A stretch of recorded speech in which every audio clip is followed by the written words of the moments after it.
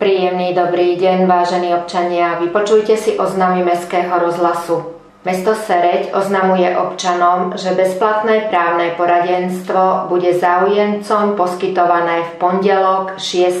februára v čase od 9. do 10. hodiny. Kino Nova v Seredi vás, milí spoluobčania, pozýva dnes 2. februára na sledovanie hororu s názvom Kruhy Začiatok predstavenia je o 19. hodine 30. minúte.